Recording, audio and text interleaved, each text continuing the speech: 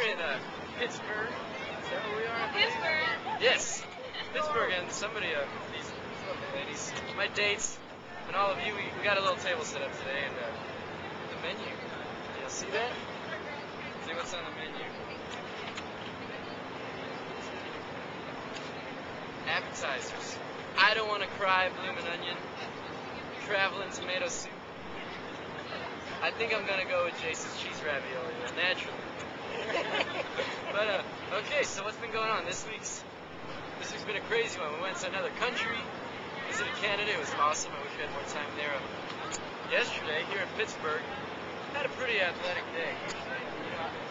I haven't been keeping very athletic out here, but uh, yesterday, me and David Archuleta, we uh, we went jogging, and uh, then we went kayaking, and uh, it was just blast. And uh, yeah, tonight, gotta show you. Go ahead, Jimmy Lark.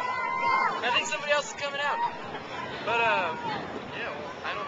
You're the lucky one. Next time it's you coming to a city near you. Yeah. Yeah, can you with us the dates? You can get those dates. I promise to make Okay. the. Here, these these dates, all my dates. Hey, well, uh, I hope y'all enjoyed that. I enjoyed it. I'm gonna wait for my food to come out and chow down.